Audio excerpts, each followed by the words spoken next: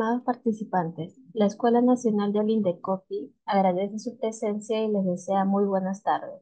Es un placer dirigirme a ustedes y poder darles la más cordial bienvenida a la videoconferencia del día de hoy titulada La publicidad y los actos de competencia desleal.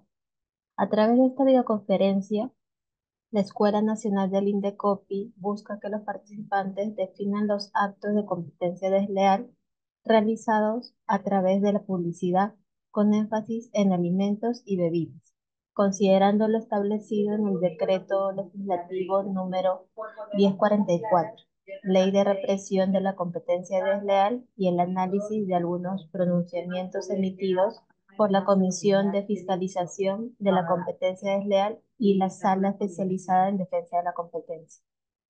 Para tal fin, en esta tarde nos acompaña Fiorella Chipana, quien es bachiller en Derecho por la Universidad Nacional Mayor de San Marcos con estudios de especialización en competencia desleal y regulación publicitaria en la Escuela de Gestión Pública de la Universidad del Pacífico. Actualmente se desempeña como especialista 2 de la Comisión de Fiscalización de la Competencia Desleal del INDECOP, con funciones vinculadas al análisis y trámite de los diversos procedimientos.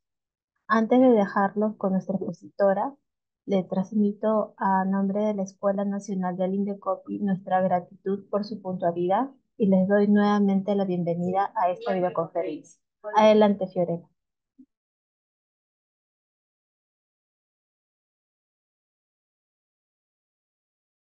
Bien, buenas tardes. Se logra escuchar perfectamente, ¿verdad, Flor? Sí, sí te escucho. Bien, muchas gracias. Buenas tardes a todos los presentes. Mi nombre es Fiorella Chipana, tal como ya lo señaló Floren, esta grata bienvenida. Eh, el día de hoy vamos a tratar un tema bastante importante como es la publicidad y los actos de competencia desleal en el marco del decreto legislativo 1044. Agradecerle su presencia también a esta videoconferencia que en realidad trata de poder hacer conocer a los consumidores, hacer conocer al público en general sobre la normativa en sí que es aplicable en estos casos. Entonces, sin más preámbulos, voy a empezar a compartir mi presentación, si me permiten un segundo.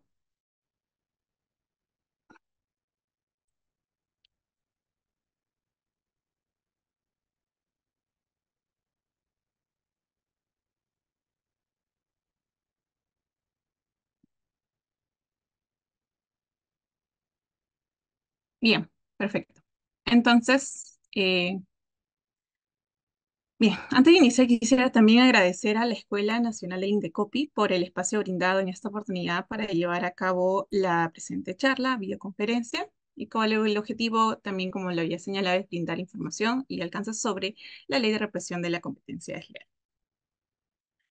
Bien, antes de comenzar quisiera precisar asimismo que los comentarios que realizaré el día de hoy reflejan mi propio punto de vista y precisar que no necesariamente refleja la opinión de Indecopi eh, y o de la Comisión de Fiscalización de la Competencia Desleal, así como de cualquier comisionado individual o de cualquier otra persona. Bien, dicho este disclaimer, vamos a verificar que el día de hoy vamos a tocar los siguientes puntos. En primer lugar, vamos a verificar la definición y aspectos de lo que es la publicidad dentro del marco del decreto legislativo 1044. Asimismo, vamos a verificar los alcances de la ley de represión de la competencia desleal. En tercer lugar, vamos a verificar los actos de competencia desleal que son realizados a través de la policía, los cuales vamos a verificar que en estos casos son principalmente cuatro. En cuarto lugar, vamos a verificar ya, eh, enfocando un poco el tema de la publicidad porque es bastante amplio, vamos a, situar en, este, en esta ocasión sobre los alimentos y bebidas, la publicidad realizada en los alimentos y bebidas. Y finalmente vamos a verificada, vamos a revisar algunos casos resueltos tanto por la Comisión de Fiscalización de la Competencia Desleal como por la Sala Especializada en Defensa de la Competencia. Bien, en primer lugar, la publicidad. En la imagen que pueden ver en pantalla que estoy proyectando actualmente, ¿qué es lo que uno podría observar? Entiendo yo que cada uno va a tener un punto de vista diferente, pero me gustaría que puedan eh, colocar en todo caso las respuestas por el chat y yo los podré leer, sobre qué es lo primero que perciben al ver esta imagen.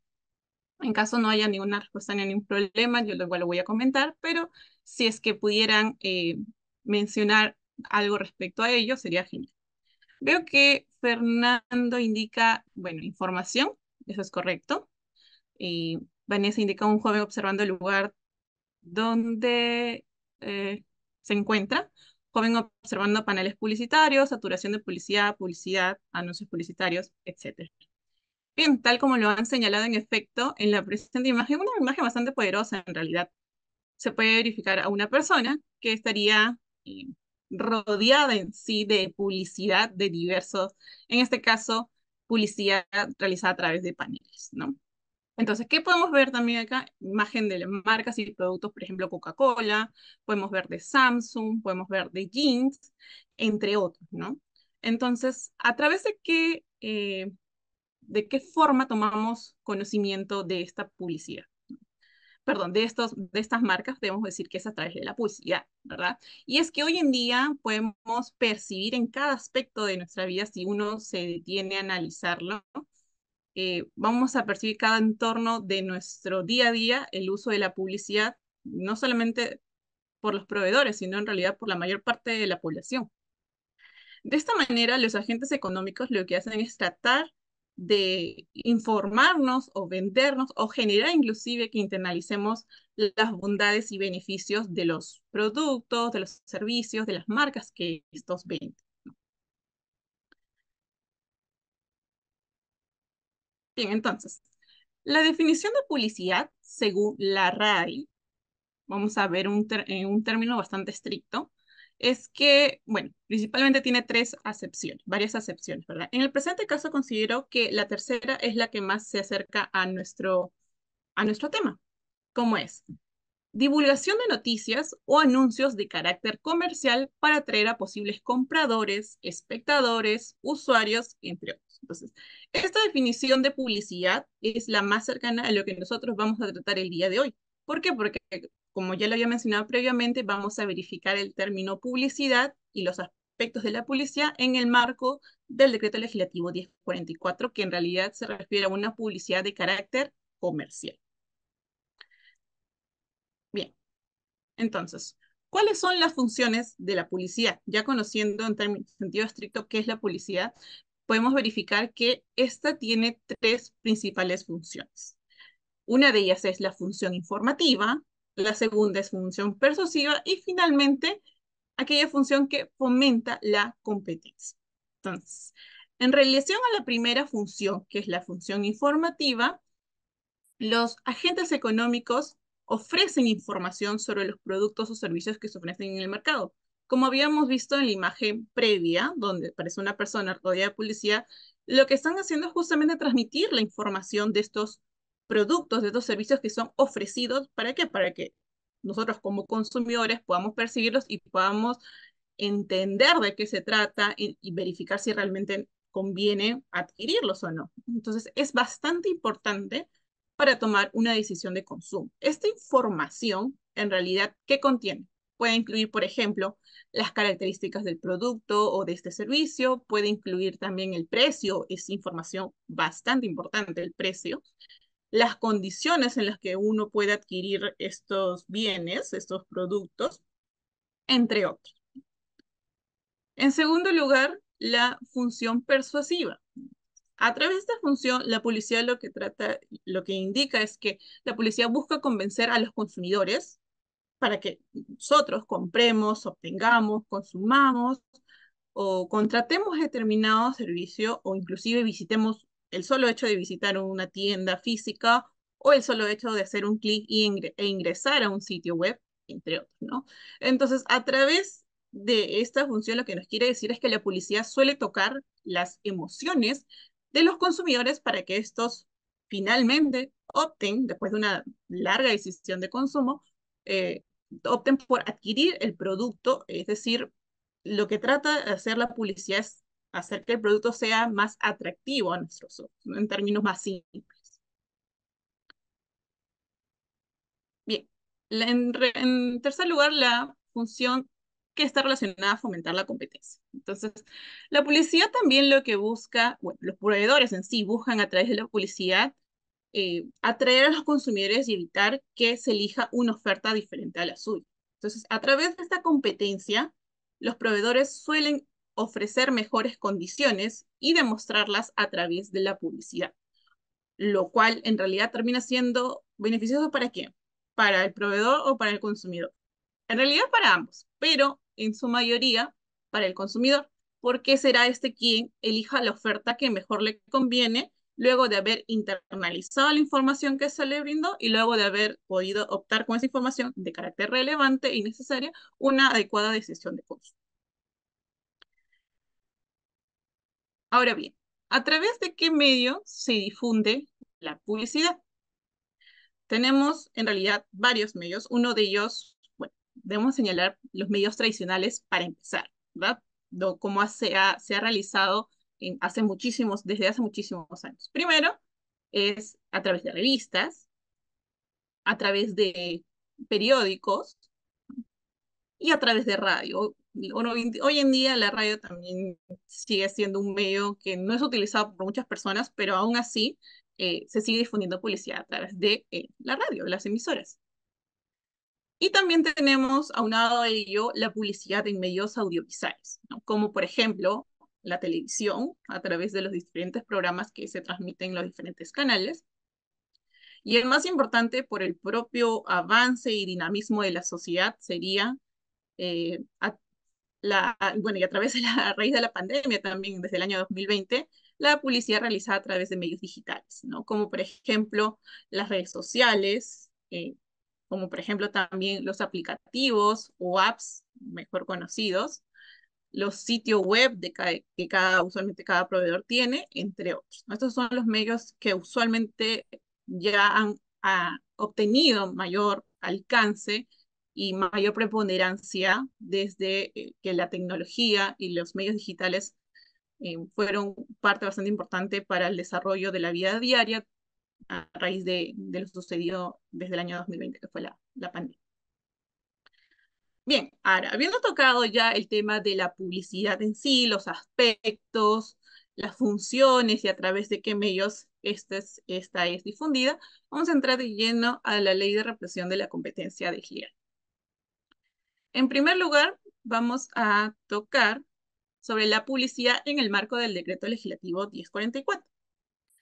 Bien, según el artículo 59, inciso L del decreto legislativo 1044, la publicidad es toda forma de comunicación que pueda ser difundida por diferentes soportes, diferentes medios, y que tiene que estar de forma objetiva, apta o dirigida a promover la imagen, la marca, los productos o servicios de una persona, ya sea natural, ya sea jurídica, pero este tiene que ser en el ejercicio de su actividad de carácter comercial, industrial o profesional. Asimismo, esta actividad tiene que realizarse en un, en un ámbito de concurrencia en el mercado.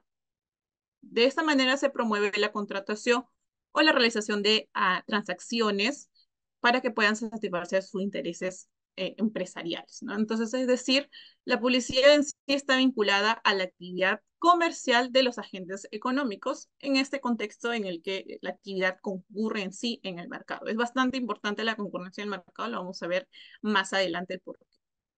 Entonces, ya conociendo la definición de publicidad, no solo desde el ámbito, sentido estricto, una definición propiamente de la RAE, sino también la definición establecida en la Ley de Represión de la Competencia Leal, podemos advertir que no configuraría publicidad en los términos de nuestra ley. Bien, tenemos principalmente tres ejemplos. El primero de ellos es la propaganda política, segundo de ellos es comunicaciones de carácter institucional y en tercer lugar el rotulado.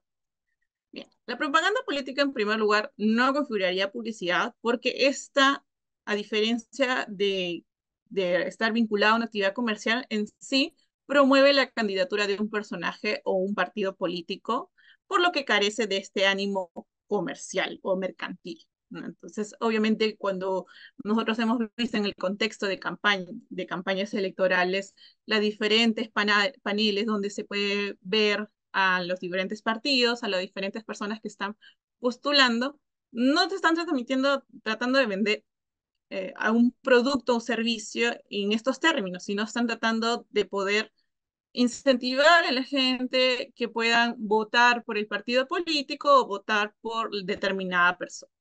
Entonces, por ello no, está, no es considerado publicidad. Asimismo, las comunicaciones institucionales. Estas contemplan un interés social y buscan fomentar determinadas conductas en la población. Entonces, como ejemplo de estas comunicaciones institucionales, podemos verificar eh, usualmente las personas cuando hemos caminado por la calle en, nuestros diferentes distritos hemos podido advertir esos paneles donde se señala, por ejemplo, pago de arbitrios, si pagas dentro de este plazo o hasta tal mes, obtienes un 50% de descuento en todo el año. Ese tipo de eh, información difundida a través de paneles son comunicaciones de carácter institucional y tampoco, al igual que las propagandas políticas, no constituyen publicidad. Finalmente, el rotulado. El rotulado contiene información de carácter neutral con fines informativos. El rotulado es lo que usualmente se verifica en los productos, por ejemplo, una galleta o una, sé lo que vemos en la parte en la parte del costado, en la parte trasera, podemos verificar esa información sobre, eh, por ejemplo, el fabricante, el registro sanitario, los ingredientes, la forma eh, en, que se, en que se preparó esta, ¿no? Pues esos son el tipo de información de carácter neutral. Entonces, el rotulado en sí no tiene la capacidad o no tiene como fin vender del producto, sino solamente está consignado en, la, en el, la etiqueta, en el envase, porque por obligación también de las normas establecidas. Entonces, esta inclusive en el artículo 59, no recuerdo bien ahora el inciso, pero específicamente señala que al ser de información de carácter neutral, no está dentro de lo que es considerado publicidad y no es analizable cuando se verifica la publicidad en el marco de nuestra ley. Bien, ahora, ¿cómo se interpreta la publicidad?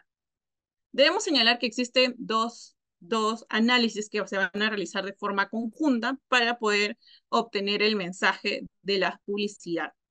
El primero de ellos es un análisis superficial. El análisis superficial lo que quiere decir, quiere admitir, es en sí que al momento de verificar la publicidad no se debe hacer ninguna, ningún tipo de interpretación forzada, eh, sino una interpretación o un análisis como lo haría cualquier consumidor es decir, considerando lo que uno puede ver y la información que pueda percibir y se obtiene el mensaje. La forma más simple, no es que, voy a ir a una, voy a recurrir a una interpretación de carácter forzado o voy a verificar qué, es lo que quiso decir o ir más allá. Cabe recordar que quien eh, brinda o quien atribuye el significado o el mensaje a una publicidad es en sí el consumidor y no el agente económico que ha difundido la publicidad. Asimismo, se realiza un análisis integral. Esto quiere decir que el análisis de la publicidad se va a realizar considerando absolutamente todos los elementos que se puedan verificar en la publicidad, que haya sido, eh, que tenga fines de eh, poder persuadir para que uno pueda adquirir el producto o el servicio. Entonces, ¿qué elementos se deberían considerar en, en el análisis integral? Por ejemplo, los dibujos, las, las letras que están, eh, los, los nombres, las letras que se colocan como frases, por así decirlo.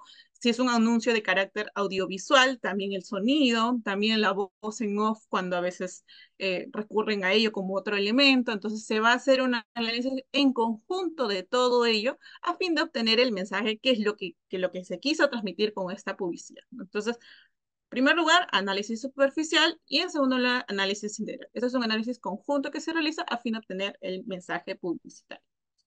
Ahora, y en el caso de campañas publicitarias, recuerden que una campaña publicitaria son la conformación de diferentes anuncios de carácter individual, pero que en sí transmiten el mismo mensaje.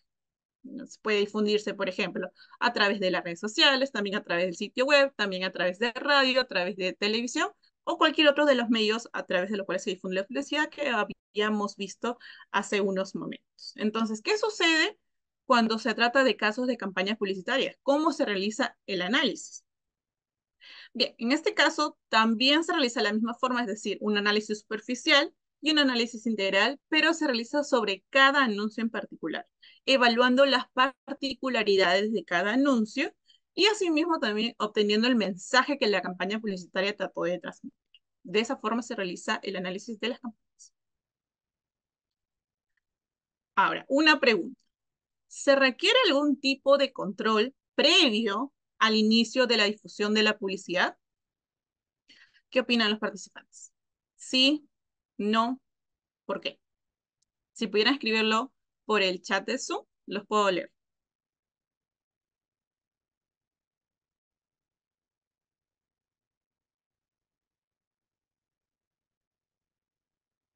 Melissa, Anabel dice sí.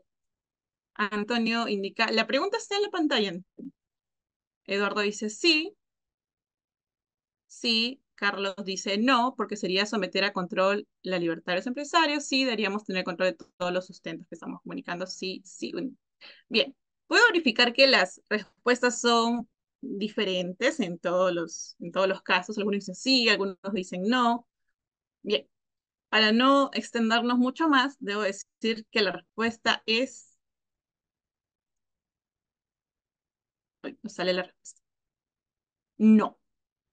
Según el artículo 22 de la Ley de Represión de la Competencia Desleal, la publicidad no requiere de autorización o supervisión previa a su difusión por parte de autoridad alguna. Esta supervisión para el cumplimiento de la ley de represión de la competencia desleal solamente se efectúa sobre aquella publicidad que ya ha iniciado a difundirse en el mercado a través de cualquier medio. Es la propia ley quien determina que la Comisión de Fiscalización de la Competencia Desleal no puede analizar la publicidad que todavía no se ha difundido el mercado. Ello porque recuerdan lo que había mencionado previamente, la concurrencia en el mercado es bastante importante. Es decir, si tu actividad, si la publicidad que estás, que pretendes difundir mercado todavía no ha sido difundida, no está concurriendo. Entonces, por ende, no se está cumpliendo este requisito de concurrencia en el mercado. Eso es bastante importante.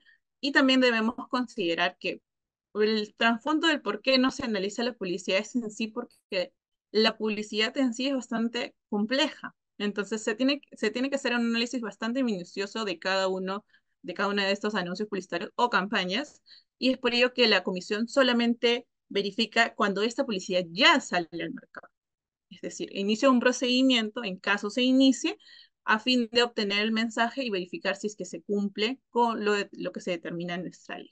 Entonces, solamente para resumir, no es necesario algún tipo de control para difusión de la publicidad. Es por ello que muchas veces hemos recibido consultas a través eh, de correos electrónicos a la comisión o también a través de llamadas telefónicas en las que nos indican, quisiera saber si la publicidad que voy a difundir que se refiere a, este producto que voy a lanzar al mercado está, es correcto.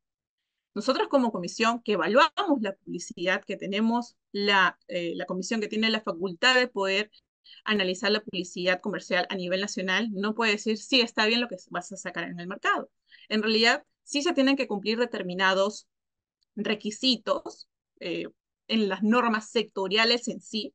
Por ejemplo, si difundo, voy a difundir la publicidad de un producto alimenticio, tengo que cumplir con las normas que me señalan el, el sector al que, voy a, eh, al que voy a concurrir o al que voy a realizar una actividad económica. Pero en, en, situándonos en lo que la Comisión de Fiscalización de la Competencia la tiene facultades, es, la respuesta es que no. Nosotros no analizamos la publicidad a menos que ya haya sido difundida en el mercado o se esté difundiendo en el mercado actualmente. Bien. En tercer lugar, ¿cuáles son los sujetos inmersos en la difusión de la publicidad? Tenemos tres, según también la Ley de Represión de la Competencia Desleal, son el anunciante, la agencia de publicidad y los medios de comunicación social. Cada uno de estos va a tener una responsabilidad diferente según, eh, según las acciones que estos realicen y eso también está establecido en nuestra ley. Bien, ahora los actos de competencia desleal. ¿Qué es un acto de competencia desleal según los términos del decreto legislativo 1044? Es todo aquel acto que resulte contrario a las exigencias de la buena fe empresarial que deben orientar la concurrencia en una economía social de mercado. Como puede ver, a veces las imágenes dicen más que mil palabras. Podemos ver a un hombre que empieza a correr y hay otro hombre que en vez de correr está volando. Entonces, cuando sí, si bien existen estas diferencias en un ámbito de concurrencia en el mercado, estas diferencias que se puedan generar tienen que ser por, eh, por el propio, la propia mejora del servicio o del producto que un competidor o un agente en el mercado realice, más no por eh, tipo de acciones que puedan ir en contra de lo establecido, es decir, por no seguir las reglas del juego establecidas en la ley de represión de la competencia desleal.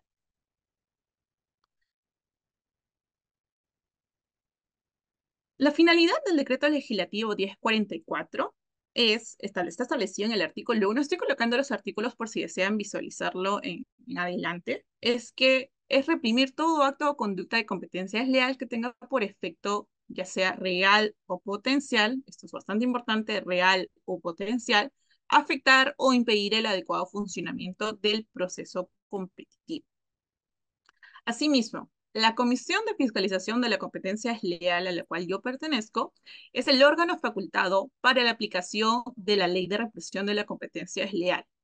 Entre las funciones que tiene esta comisión es velar por el cumplimiento de las normas que reprimen la competencia desleal entre los agentes económicos que realizan una actividad concurrente en el mercado.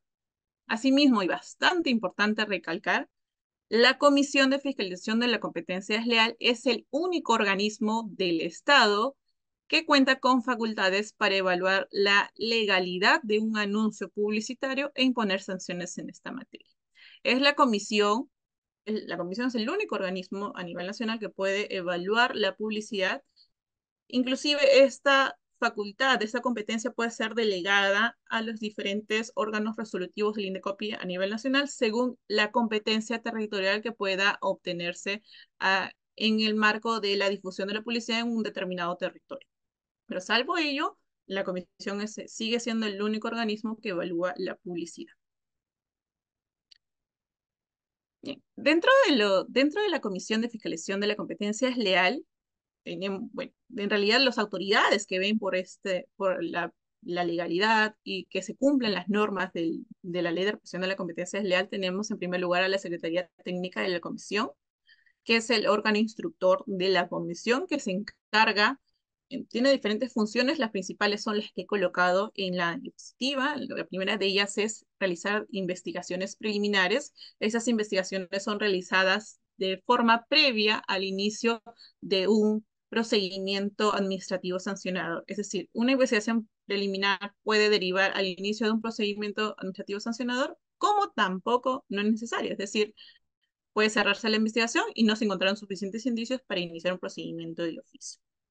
Asimismo, también tiene la facultad de iniciar estos procedimientos de oficio, tal como le había señalado, y a su vez también tiene la facultad de evaluar y verificar si corresponde admitir a trámite las denuncias presentadas por los agentes económicos, es decir, denuncias de parte. Por su parte, la Comisión de Fiscalización de la Competencia Desleal declara la existencia de un acto de competencia desleal cuando ya se ha realizado o se ha tramitado un procedimiento administrativo administrativo sancionado. Entre sus facultades también se encuentran el dictar medidas cautelares y el dictar medidas correctivas. Asimismo, está el imponer sanciones que pueden ser amonestación o de carácter pecuniario.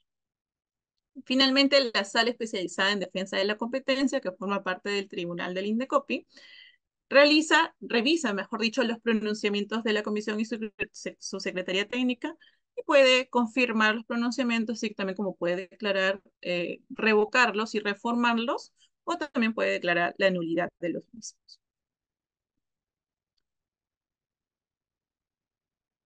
Respecto a los ámbitos de aplicación de la Ley de Represión de la Competencia Desleal, tenemos tres ámbitos, el objetivo, el subjetivo y el territorial. El ámbito objetivo lo que quiere decir es que la ley, dentro de la Ley de Represión de la Competencia Desleal se encuentran aquellos actos que tienen como efecto, ya sea de forma directa o indirecta, concurrir en el mercado, incluidos los actos realizados a través de la publicidad. Es necesario precisar que no se necesita determinar la habitualidad de quien realiza dichos actos. Es decir, Supongamos que tenemos, eh, se ha iniciado un procedimiento administrativo de oficio y uno de los argumentos que usualmente hemos visto como defensa de los, eh, de los imputados es, es la primera vez que realizo este acto, suelen decir ellos, ¿no? No sabemos si es cierto o no es cierto.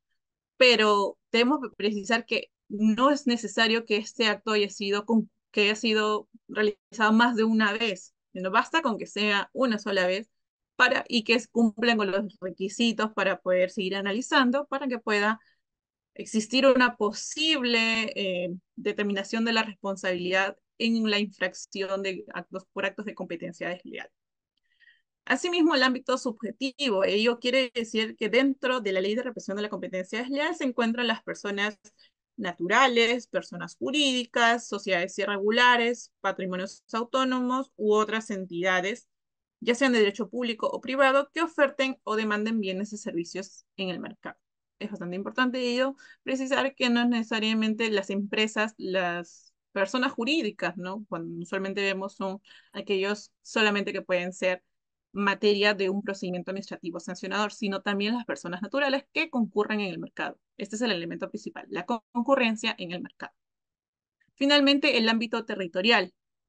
Ello quiere decir que cualquier acto de competencia es leal que produzca o pueda producir, es decir, de carácter potencial efectos en todo o en parte del territorio nacional, aun cuando dicho acto se haya originado en extranjero.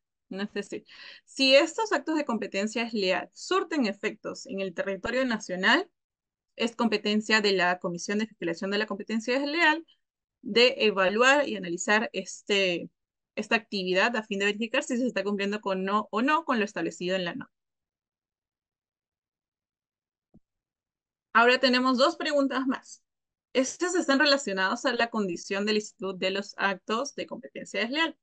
La primera de ellas es, ¿es necesario constatar voluntad o conciencia para determinar si un acto, si un acto es o no de competencia desleal? De la misma forma, como hemos hecho anteriormente, me gustaría que puedan indicar si es que, eh, si es que en efecto es, es cierto o no es cierto, es sí o no.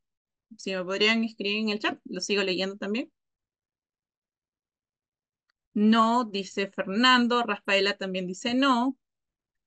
Y ahora dice no. Andrea igual, de la misma forma dice no. Veo que acá sí hay unidad en relación a las respuestas.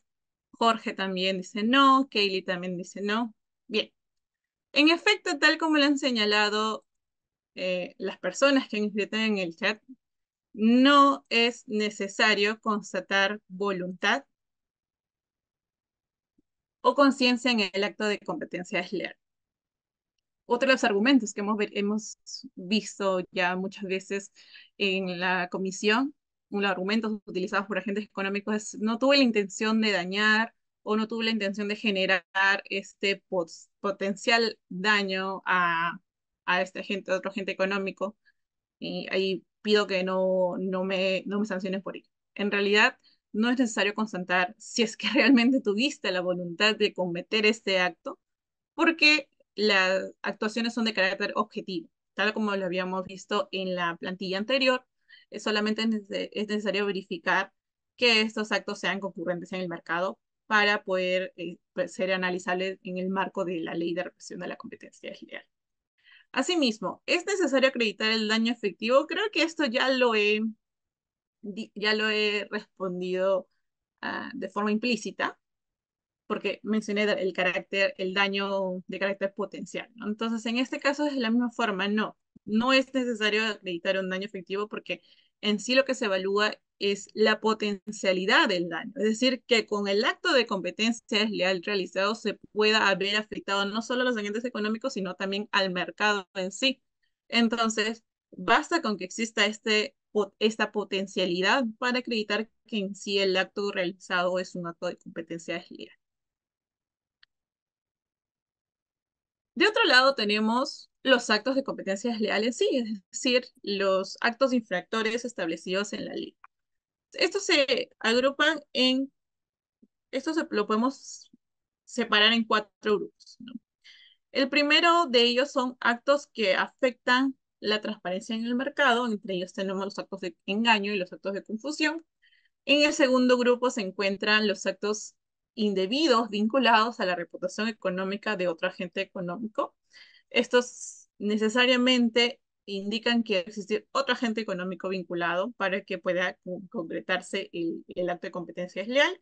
Entre ellos se encuentran los actos de explotación indebida a la reputación ajena, los actos de denigración, los actos de comparación y equiparación indebida. En tercer lugar, tenemos los actos que alteran indebidamente la posición competitiva propia o ajena. Entre ellos se encuentran los actos de violación de secretos empresariales, los actos de violación de normas y los actos de sabotaje empresarial. Y en cuarto lugar tenemos los actos de competencias leal realizados mediante la actividad publicitaria. El primero de ellos son aquellos actos que infringen el principio de autenticidad, aquellos que infringen el principio de legalidad y aquellos que infringen el principio de adecuación social. Entonces, todos estos son los actos infractores que son analizables por la comisión a fin de verificar si es que han incurrido o no en responsabilidad. Entonces, para la exposición de hoy, para el tema que nos compete en sí, solamente vamos a tocar algunos actos de los ya señalados. Y entre ellos son los actos de engaño, porque los actos de engaño están relacionados al principio de veracidad, que ahora vamos a explicar de qué se refiere, y los actos eh, que infringen el principio de autenticidad, el principio de legalidad y el principio de adecuación social. Sin embargo, antes de entrar en ello, vamos a señalar de manera breve los parámetros de la sanción para verificar cómo es que la, comisión determina los, eh, la sanción imponer y por qué en algunos casos es una amonestación y por qué en otros casos es una multa. ¿no?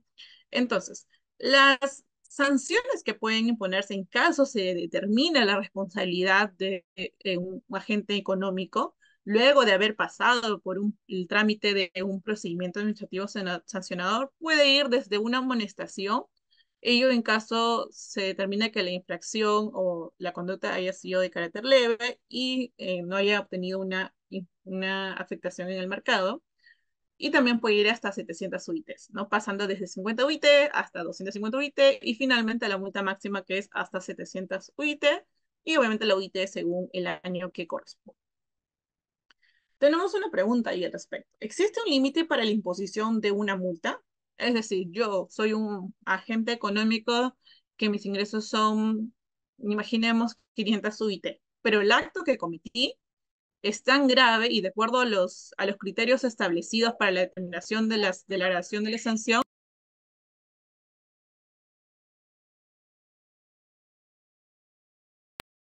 Lo siento. Eh, bien, entonces, eh, mencionaba, ¿existe un límite para la imposición de una multa? Y la respuesta en realidad es sí, el 10% de los ingresos brutos percibidos el año anterior. Es decir, si yo soy una empresa que eh, tengo ingresos netos por 500 UIT, pero el acto que cometí era tan grave que se la comisión determinó una que me correspondía una multa de 700 UIT, en ese caso, la comisión no podría imponerme una multa de 700 UIT. Cabe precisar que la 700 UIT es el límite máximo, pero no podría imponerme esa multa porque si, si yo he, mencionado y he declarado que mis ingresos, eh, mis ingresos son tales, la multa no puede sobrepasar el 10% de estos. Pero ¿en qué casos no se va a considerar el 10% de los ingresos como límite para imposición de la multa? En dos particularmente, según la ley. Uno, cuando no se haya acreditado tal información. Es decir, si la Secretaría Técnica ha solicitado al agente económico que indique cuáles son los ingresos obtenidos eh, por todas sus actividades económicas en el año anterior y este agente económico o este imputado no ha presentado la información, no se va a considerar este límite y la comisión tiene la facultad de imponer la multa que considere pertinente según los criterios de graduación establecidos en la ley. Asimismo, tampoco se va a considerar ese límite si es que la conducta y el agente infractor es reincidente. Es decir, si es la segunda vez que me han iniciado un procedimiento administrativo, ya sea de parte o ya sea de, de, oficio, si la segunda vez que lo inician por el mismo acto y vinculado a la misma actividad, es probable que no vayan a considerar este límite del 10% de los ingresos del año anterior. Ahora sí, entramos a los actos de competencia real, desleal realizados a través de la publicidad, a lo que venimos, el tema principal. Bien, como primer lugar tenemos los actos de engaño, es, eh, por así decirlo, el, acto más conocido, más común, de los cuales se encuentran mucho más casos. Eso está establecido en el artículo 8 del decreto legislativo 1044 y quiere decir que son aquellos actos que tienen como efecto inducir error a otros agentes en el mercado sobre, en primer lugar, puede ser la naturaleza, modo de fabricación, distribución, características, aptitud para el uso, calidad, cantidad, precio, etcétera. Todas las condiciones y todas las características que ustedes pueden verificar en pantalla. Asimismo, también puede generarse esta inducción a error en los agentes del mercado sobre los atributos que posee el agente, incluido sobre todo aquello que representa su actividad empresarial. También tenemos que los actos de engaño pueden realizarse a través de publicidad testimonial. Esta publicidad es, eh, es bueno, la difusión de publicidad testimonial que no sea sustentada en experiencias auténticas o recientes de un testigo. Esto también está establecido en el artículo 8 del decreto legislativo 1044. Bien, como había precisado anteriormente, los actos de engaños están relacionados al principio de veracidad. Este principio es fundamental para entender cómo es que se, cómo es que se determina la responsabilidad en los actos de competencia legal por actos de engaño. El principio de veracidad indica o exige sí que el contenido de, las, de la pieza o las piezas publicitarias sea acorde a la realidad y se cuente con las pruebas que sustenten las afirmaciones. Es decir, el principio de veracidad lo que realmente exige es que la información que yo difunda en el mercado a través de la publicidad sea cierta, sea veraz, sea correcta y obviamente eviten una inducción a error. Asimismo, exige también que se cuente con las pruebas que sustentan las afirmaciones. Es decir, eso está vinculado a algo que llamamos el deber de sustanciación previa, que lo vamos a ver en la siguiente lámina. Bien, el principio de veracidad es aplicable a cualquier tipo de publicidad en sí, la respuesta es no. Esto solamente va a ser aplicable, aplicable, a publicidad que transmita información de carácter objetiva y comprobable. No están incluidas las, las afirmaciones que tengan un carácter subjetivo y obviamente que no sea, eh, no pueda ser comprobado. ¿no? A diferencia de los casos de eh, consumidor, si, no, si mal no recuerdo, en el caso de los actos de engaño, se, se puede verificar una inversión de la carga de la prueba.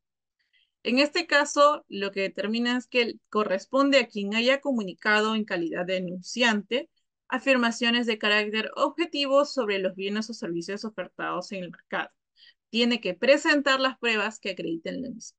¿no? Entonces, si yo como proveedor, o mejor dicho, como un agente económico denuncio a un a una empresa porque creo que la información que me está brindando es de carácter engañoso, si se inicia este procedimiento, el agente económico imputado tiene la obligación de tener las pruebas que puedan sustentar lo que ha difundido a través de la publicidad. Y, y tal como lo señala el, el segundo cuadro del deber de sustanciación previa, esta información, estas pruebas que sean suficientes para acreditar la información que se ha difundido, tiene que ser obtenida con fecha anterior al inicio de la difusión de la publicidad. Es decir, si yo inicio a difundir una publicidad el día de hoy, hoy día que es 15 de mayo de 2024, tengo la obligación de contar, si quiero evitar el inicio de un procedimiento de oficio y probablemente la determinación de una responsabilidad por actos de competencia desleal, debo contar con pruebas de fecha cierta, si es posible, de fecha anterior al inicio de la difusión de la publicidad, es decir, antes del 15 de mayo de 2024. Eso es lo que exige el deber de sustanciación previa y es un, ah, es un criterio que se toma en cuenta al analizar los actos de engaño. Bien, ¿cuáles son los tipos de afirmaciones publicitarias? En realidad, como lo había precisado anteriormente, tenemos dos tipos, las afirmaciones de carácter objetivo y las afirmaciones de carácter subjetivo los primeros de ellos indican que en realidad necesitan de un sustento previo a la difusión. Un ejemplo de una afirmación objetiva que puede difundirse a través de publicidad es somos la empresa X que vende más zapatillas en el Perú. Entonces, ¿por qué esta afirmación es objetiva? Porque está colocándole un parámetro de medición a la afirmación. ¿Cuál es el parámetro de medición en este caso? El, tema de las ventas, el tema del producto, porque indica zapatillas, y el tema del territorio, el Perú. Está diciendo, yo vendo, es decir, soy lo que tiene más cantidad de ventas de este producto, zapatillas, en este determinado territorio, Perú. Entonces, esos son los, los parámetros objetivos por los cuales este agente económico tendrá que probar que realmente es la empresa que vende más zapatillas en el Perú. De otro lado tenemos las afirmaciones subjetivas. Estas, a diferencia de las afirmaciones objetivas, no están sujetas a comprobación, porque por el mismo hecho de que no tienen un parámetro objetivo. ¿no? Eso ha sido también determinado en la ley. Por ejemplo, tenemos, somos los mejores. Somos los mejores según quién, según qué. ¿Cómo podríamos determinar que ellos, esta empresa o esta persona natural son los mejores? No habría forma de poder determinar eh, realmente a qué se refiere con somos los mejores. No es una, es una afirmación de carácter subjetivo por donde lo vean. Asimismo, ¿cómo determinamos si un anuncio es engañoso? Existe una metodología establecida eh, por los órganos de competencia para poder verificar si es que un acto de competencia es leal, eh, eh, mejor dicho, si, una actividad, si realizada por un agente económico ha sido un acto de engaño.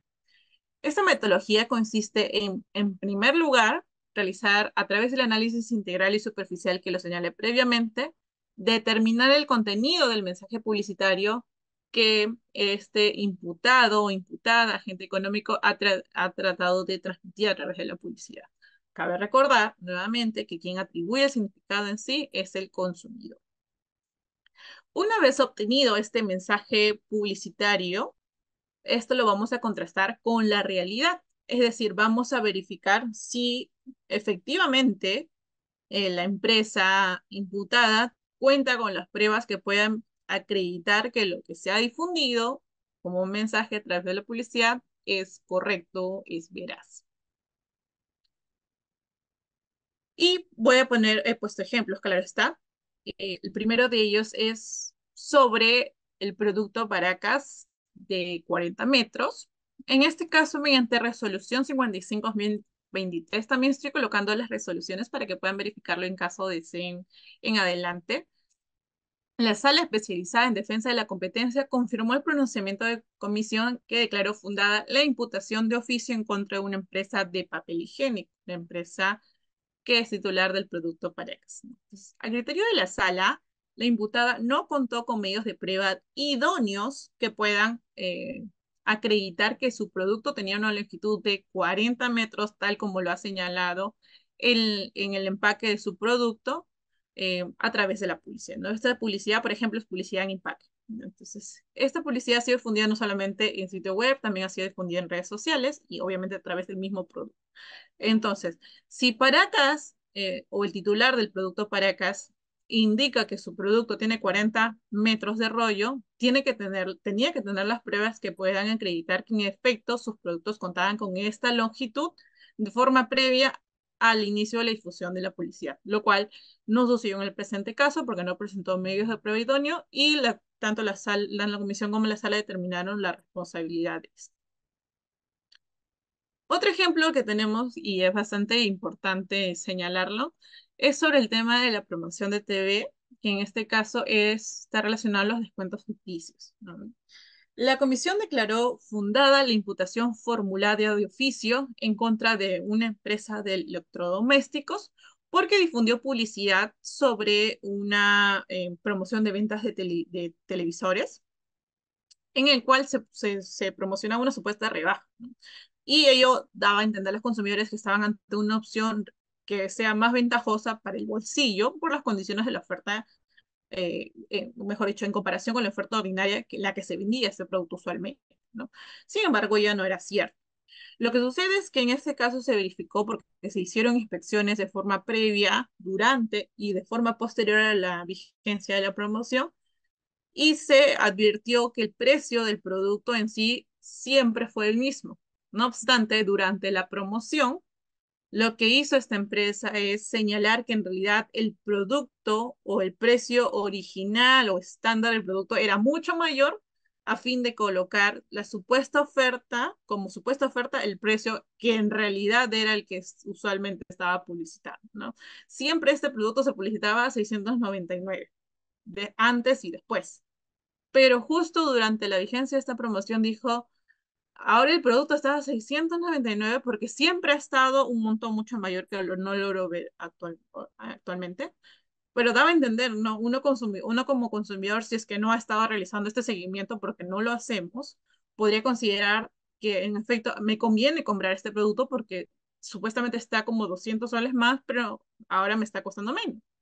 Cuando ya no era cierto, es decir, no, te, no realmente no había una oferta, una ventaja respecto a la oferta ordinaria porque el precio era el mismo, solamente que te brindaron información que no era correcta. Y a raíz de esto, en la medida que, el, que este caso fue bastante importante, la Comisión estableció un precedente de observancia obligatoria a través de la resolución 186-2021.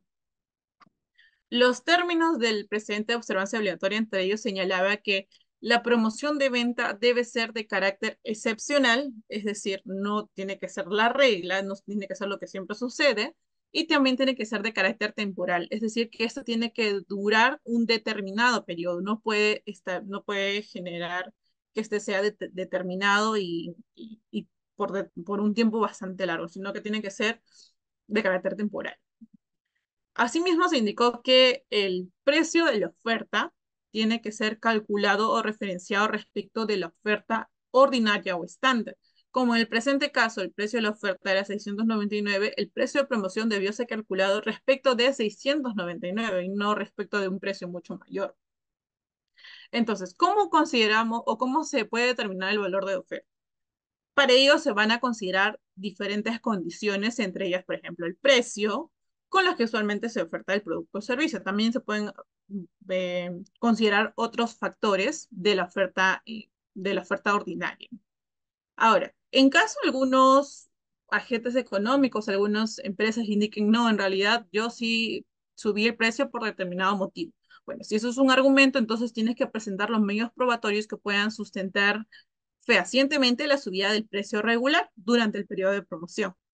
No basta simplemente con mencionar que por tal motivo lo hice y por eso coloqué este precio. No, tienes que presentar medios pruebas que realmente puedan acreditar que esta subida sea, este, sea de buena fe, no que, que no que sea por solamente producto de, de generar un acto de engaño. Bien, en segundo lugar tenemos eh, los actos contra el principio de autenticidad.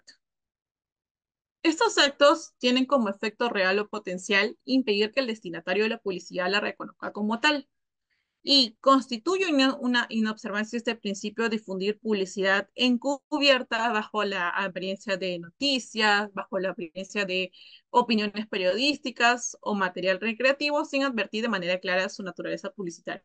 Probablemente muchos de nosotros hayamos visto este tipo de publicidad eh, en redes sociales o en televisión y probablemente también habíamos podido percibir que se trata de publicidad encubierta. Y respecto a ello, ¿qué es la publicidad encubierta? En sí, es aquella que es difundida a través de un medio de comunicación social, ya sean los medios tradicionales o los medios eh, digitales que hoy en día se utilizan, y que debido a su presentación y el tono de su contenido no es percibida como tal. Es decir, no puedes verificar en primer lugar o a primera vista que se trata de publicidad, ¿no? Probablemente uno piensa que se trata de una opinión genuina, una recomendación, o una anécdota en sí que está siendo contada, pero no como una, publicidad eh, de, forma cierta. Asimismo, también se obtuvo un presidente de observancia obligatoria en relación a, este tema del principio de autenticidad y se determinó que para ello es necesaria la existencia de un pago o contraprestación de cualquier tipo por el espacio en que fue difundida la publicidad encubierta. Es decir, es uno de los requisitos o una de las pruebas para verificar que en efecto se ha cometido un acto de infracción por el principio de, autenticidad y se ha difundido publicidad encubierta. ¿no? En caso no exista este, este elemento, que es decir, la contraprestación, puede determinarse cualquier otro elemento de juicio que demuestre que la actuación del medio de comunicación a través del cual fue difundida esta publicidad en sí estuvo encaminada a efectuar publicidad de bienes o servicios, para ello bajo la apariencia de sus propias noticias, reportes o entrevistas. Bien, aquí también he puesto un caso sobre actos contra el principio de autenticidad en sí, mediante resolución 120 de 2020, la sala confirmó el pronunciamiento de comisión que declaró funda la denuncia en contra de una empresa por haber intervenido en la difusión de publicidad encubierta en un programa de radio y televisión, sin precisar que se trataba de reportaje. Lo voy a leer rápidamente para que puedan verificar. Esto fue transmitido a través de radio y televisión y van a, van a advertir que en sí se trata, lo que está subrayado sobre todo puede tratarse de eh, publicidad encubierta según fue determinado por la comisión. Por ejemplo, dice, lo que no saben es que está viniendo la señora y va a ir con un reportero nuestro a hacerle para, a hacerle para solicitar la devolución. Caso contrario, una denuncia pública, señoras y señores. Más están aquí en Total Noticias. Por eso les he dicho, la Curacao y otras tiendas más, a excepción de Credi Vargas, que era el imputado, eh, Credi Vargas Yurimaguas, Credi Vargas Artefactos, que sí te dan productos de garantía, no es funda ni de terceras que traen como la Curacao, ya sucedieron varias denuncias, etcétera. Por eso nosotros compramos nuestros productos, amigos, artefactos en Credi Vargas, artefactos Yurimaguas. Entonces, si uno de repente está escuchando, o hubiera estado escuchando esta noticia, al inicio podría decir, en efecto, ¿no? Se están reportando que una persona ha tenido una mala experiencia con los productos de determinada empresa, pero luego sutilmente ingresa o empiezan a señalar la información sobre otro agente económico que casualmente también eh, competía en el mercado en el mismo rubro, que es electrodomésticos. Entonces, obviamente, esto se trataba de, según lo determinado por la comisión, publicidad encubierta, ¿no? Si bien se estaba tratando de, em, por ahí, de denigrar a otro, a otro, a otro agente económico, también lo que estaba haciendo es publicitando los productos de este imputado, Craig Vargas pero no se daba a entender que en realidad era publicidad, porque en ningún momento lo señalaron, ni al inicio ni al final de, esta, de la difusión de esta publicidad. Asimismo, tenemos otro caso que probablemente también ya haya sido escuchado por los presentes aquí en redes sociales o de repente a través de la televisión. Lo señala lo respecto a apuestas y dinero. Este, en esta ocasión, la comisión sancionó a un influencer por la comisión de actos de competencia desleal en la modalidad de infracción al principio de autenticidad, en la medida que habría difundido publicidad a través de stories de Instagram sin advertir de manera clara su naturaleza publicitaria. En las historias que fueron difundidas a través de Instagram, se advierte que la imputada contaría a sus seguidores su experiencia respecto a ciertas apuestas, experiencia que en realidad no era genuina, sino que era parte de un contrato de publicidad. Como podemos apreciar, se le realizaron supuestas preguntas a esta persona sobre cuánto gana al mes, sobre pues si puede contarlo más sobre el tema de las apuestas, y ella mencionó que le iba bastante bien, que aumentó sus ganancias, y que es muy fácil de jugar porque está en un grupo de Telegram donde le envían pronósticos. Entonces, uno probablemente a primera vista también pueda percibir que se trata de una recomendación de carácter genuino, pero en realidad eh, había un, un, contrato de publicidad de por medio porque esta empresa de apuestas había pagado a esta persona una determinada cantidad de dinero para que pueda difundir esta información a través de las historias de Instagram exactamente con la información que se, que se colocó, de la forma en que se colocó, así fue como, que, como se acordó que se empieza a difundir. En tercer lugar, tenemos los actos contra el principio de legalidad.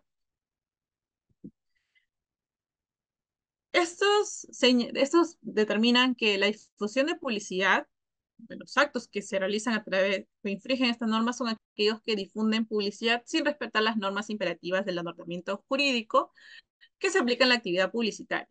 Adicionalmente, también se incluyen en estos actos el incumplimiento de cualquier disposición sectorial que regula la actividad publicitaria respecto del contenido, difusión o alcance. El presente artículo eh, incluye determinados supuestos tales como precio total sin incluir atributos aplicables y cargos adicionales, omitir el equivalente en moneda nacional de igual forma en la que se presenta en moneda extranjera, y la publicidad de promociones de ventas omitiendo la duración y o cantidad mínima de unidades disponibles, entre otros señalados en la ley. Un ejemplo de actos contra el principio de la legalidad podemos verlo en la resolución 80-2023 de la sala, una resolución reciente, relativamente reciente, en la que revocó el pronunciamiento de la comisión y reformándola, declaró fundada la denuncia en contra de una empresa de telecomunicaciones en el extremo relacionado al principio, a la infracción al principio de legalidad. Según lo que determinó la sala, la imputada difundió anuncios respecto a los planes de servicio, si no me equivoco, en este caso eran planes de servicios de Internet, en los cuales omitió consignar el precio total de los servicios anunciados. ¿Por qué? Porque no incluyó el cargo adicional indispensable para la realización del servicio, en este caso eh, estaba referido al costo de instalación. ¿no? A criterio de la comisión, el costo de instalación no era un, un precio o una de las condiciones en las que se debían tomar en cuenta para determinar el precio total, pero según la sala sí, porque si no se determina el precio del costo de instalación, en realidad probablemente el servicio no, no sería adquirido, lo cual es cierto. Asimismo, tenemos los casos de las promociones, por ejemplo, en este caso de una mochila en promoción, la comisión sancionó una conocida empresa por haber difundido un anuncio publicitario sobre la promoción de venta de uno de sus productos, pero como se puede apreciar en la publicidad consignada en el lado izquierdo, no eh, indicó las, las unidades, la cantidad de unidades mínimas disponibles de la promoción. Asimismo, dentro de los actos contra el principio de legalidad, también podemos ver, como le había señalado, está referido a la infracción, o mejor dicho, cuando no cumplen con las normas referidas a policía establecidas en, los diversas, eh, en las normas sectoriales. En este caso, he puesto tres de ellas nada más, pero existen otras. En el, en el, caso de las normas sobre productos farmacéuticos, dispositivos médicos y productos sanitarios, en el caso de aeronáutica civil también, y en el caso de los productos de tabaco. Aquí también se encuentran lo que es la ley eh, de alimentación saludable para niños, niñas y adolescentes menores de 16 años. Bien, finalmente, los actos contra el principio de adecuación social.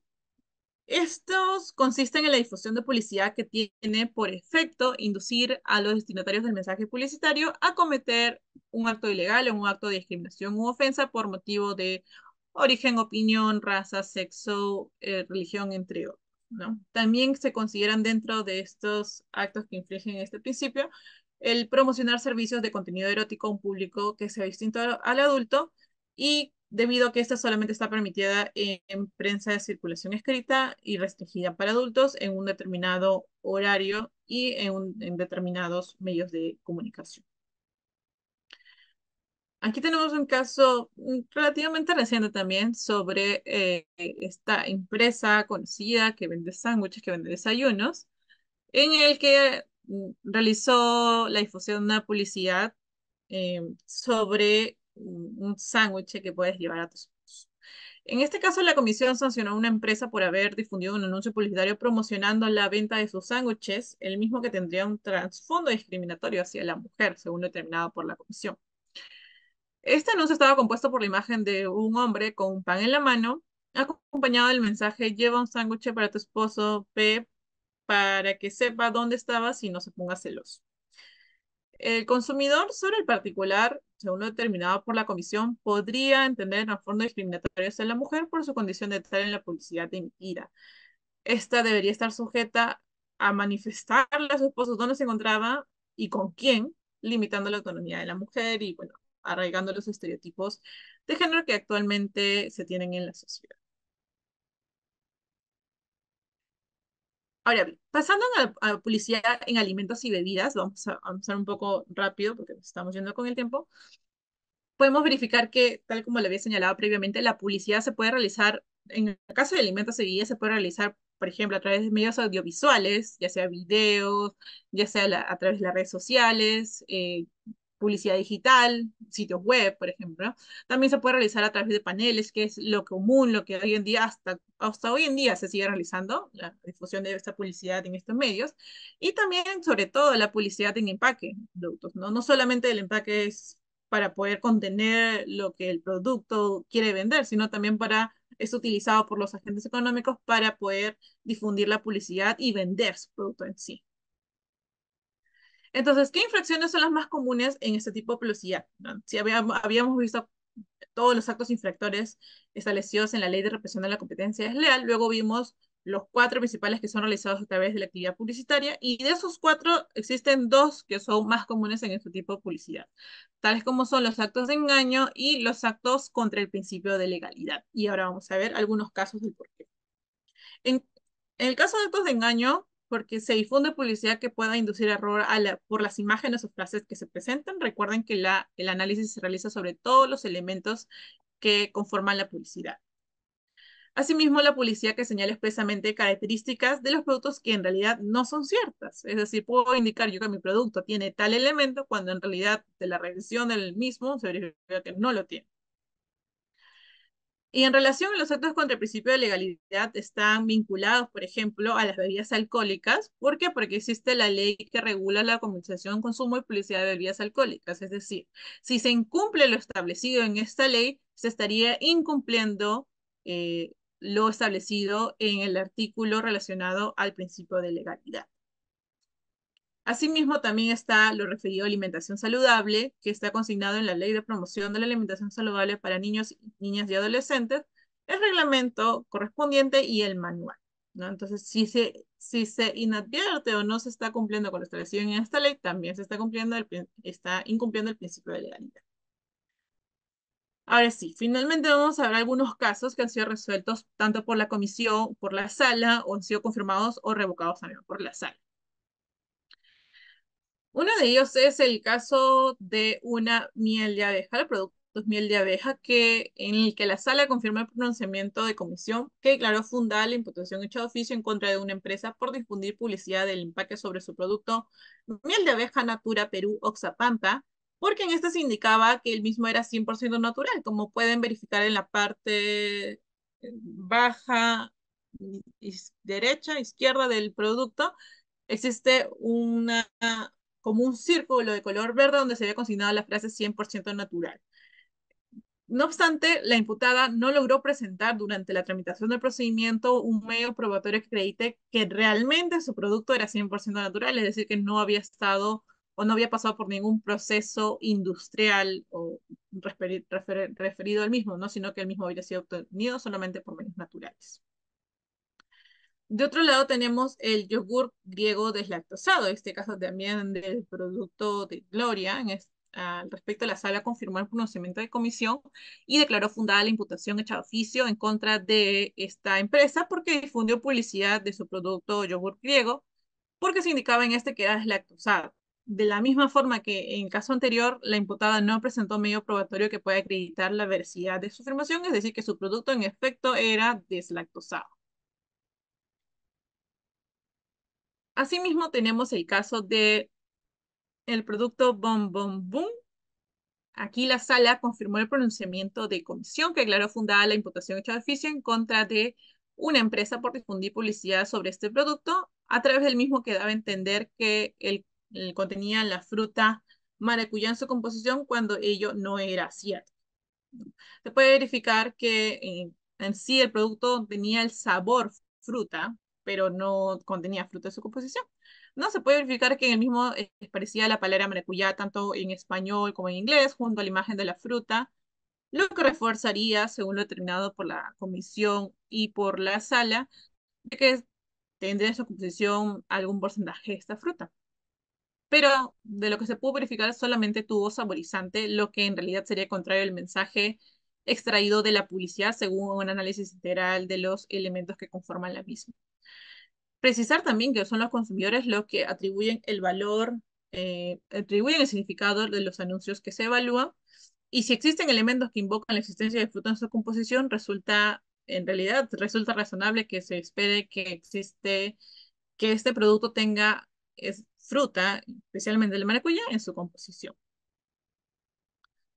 De otro lado, tenemos el caso del producto el Leonda 100% jugo de fruta y manzana. Aquí la sala confirmó el pronunciamiento de comisión que declaró fundada la denuncia en contra de una empresa por difundir publicidad en empaque de su producto, el que acabo de mencionar, porque daba a entender como mensaje que estaba elaborado en su totalidad por jugo de natural de manzana, sin embargo, también como en la mayoría de los casos, la imputada no cumplió con acreditar dicho mensaje, ¿no? Si se puede mm, ver, si logr- logran ver, eh, entre los elementos que conforman la publicidad está la, la palabra 100% manzana, 100% jugo, ¿no? Son, incluso en la descripción dice, contiene 100% jugo de manzana.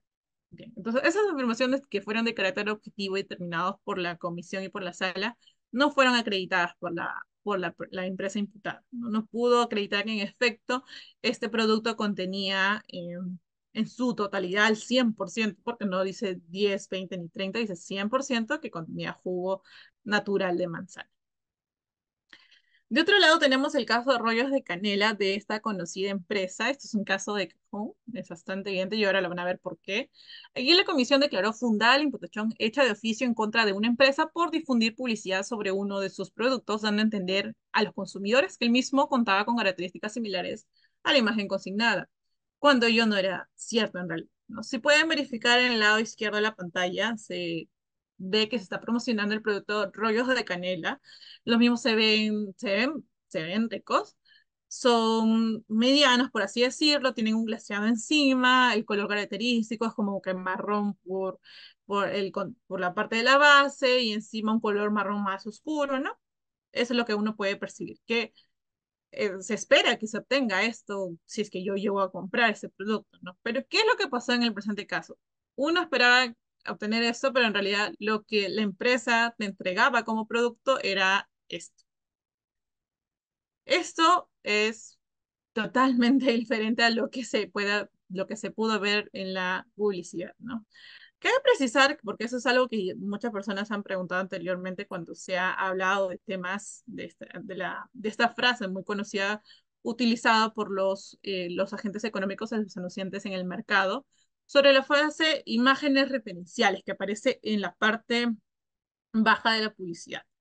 Si bien es cierto, en efecto, es un recurso que, puede que pueden colocar los agentes económicos o los anunciantes, sobre todo, que difunden publicidad en el mercado, lo cierto es que este, el uso de, de esta frase es para verificar que si bien el producto no va a ser exactamente el 100% igual de lo que te está vendiendo, ello no quiere decir bajo ningún supuesto de que el producto tenga que ser diametralmente opuesto a lo que tú esperabas recibir. Si pueden hacer una comparación, es muy diferente lo que se publicitaba a lo que en realidad la empresa entregaba. Entonces, por ende, eh, la comisión declaró fundada en este, el, presente caso porque mm, contaba con características muy diferentes a lo que realmente había difundido. Esto sí es un engaño. De otro lado tenemos el caso del producto Vita Plus. Aquí la sala confirmó el pronunciamiento de la comisión que declaró fundada la imputación formulada de oficio en contra una empresa por haber difundido publicidad en empaque de su producto eh, Vita Plus, incumpliendo la establecido en literal el del artículo 8 de la Ley de, la, de Alimentación Saludable. Aquí, en primer lugar, se determinó que el producto sí estaba dirigido a menores de edad en la medida que el mismo podía ser adquirido legalmente por estos. Aquí entramos más que en actos de engaño, estamos entrando a actos de contra el principio de legalidad. ¿Qué es lo que establece la ley 320, 321, Ley de Promoción de la Alimentación Saludable? El artículo 8 establece que la publicidad que esté dirigida a niños, niños y adolescentes de 16 años que se difunda por cualquier medio o soporte no debe indicar como beneficios de su ingesta la obtención de fuerza, ganancia o pérdida de peso, adquisición de estatus o popularidad.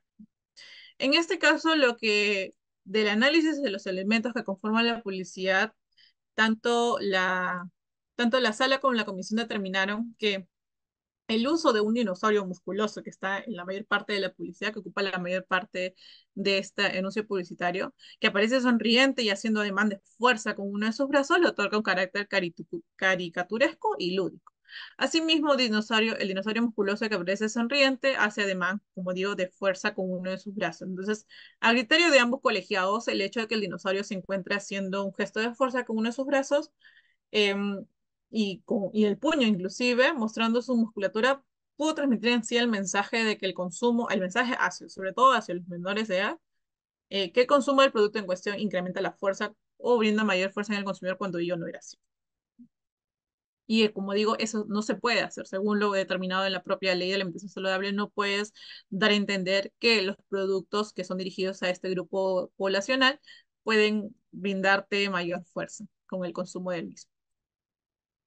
De otro lado tenemos el caso de Sparking Sangría. Este en este caso la comisión declaró fundada la imputación hecha de oficio en contra de una empresa restaurante porque difundió publicidad sobre una bebida que en efecto contiene alcohol, como es sangría, la sangría contiene vino, y no cumplió con lo dispuesto en el artículo 8 de la ley que regula la comercialización, consumo y publicidad de bebidas alcohólicas. ¿no? Sobre el particular, este artículo 8 establece que em, en la normativa general sobre la publicidad, la publicidad de toda bebida alcohólica debe sujetarse a las siguientes restricciones, y una de ellas es que los anuncios escritos deberán consignar en caracteres legibles y un espacio no menor del 10% del área total del anuncio la frase a que se hace referencia en el artículo 7 de la presente ley. Es decir, debió colocar em, la, frase referida a tomar bebidas alcohólicas en exceso es Luego tenemos también el combo escabechado.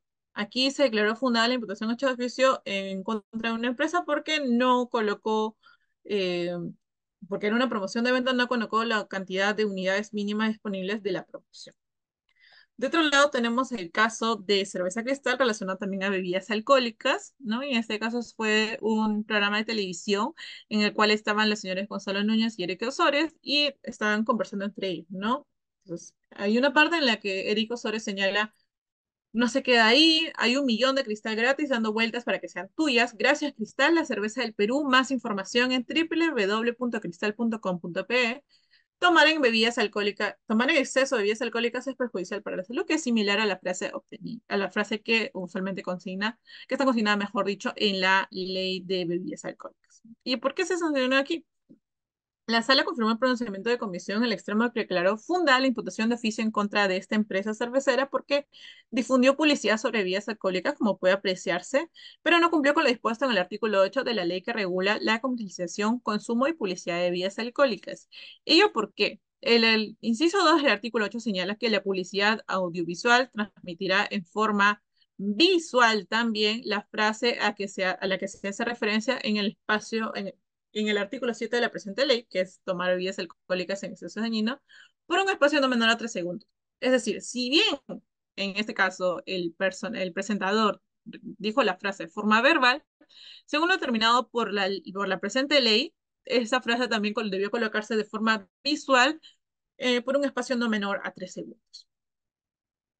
De otro lado tenemos el caso de un, de un producto de mostaza de una conocida de un conocido supermercado. En este caso, la sala confirmó el pronunciamiento de comisión que declaró fundada la imputación de oficio en contra de esta empresa por difundir publicidad de empaque de un producto sin consignar la advertencia publicitaria alto en grasas saturadas y evitar su consumo excesivo, pese a que al, al tratarse de un alimento procesado y cuyo valor nutricional superaba el parámetro técnico referido a grasas saturadas, establecido en el artículo 4 de este decreto supremo, debió consignarse esta advertencia publicitaria más conocida por la mayor parte de la población como octógonos.